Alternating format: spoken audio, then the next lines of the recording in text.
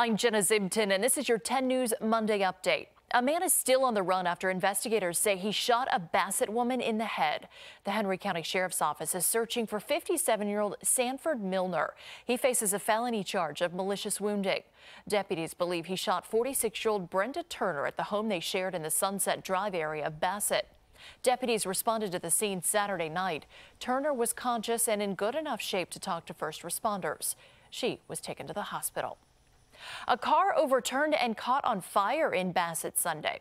According to Virginia State Police, troopers say it happened on Route 220 northbound. Right now, we don't know the conditions of those involved. New guidelines for students at Virginia Tech. As we've reported, seven students were removed from campus for not following the rules, and now the university is sending a clear message to others. The university said Sunday there will be no gatherings, even outside the university, of more than 15 people. Face masks should be worn at all social gatherings. The only exception is when you're exercising outside by yourself. The university also warned failing to follow these expectations will result in immediate interim suspension and removal from on-campus housing.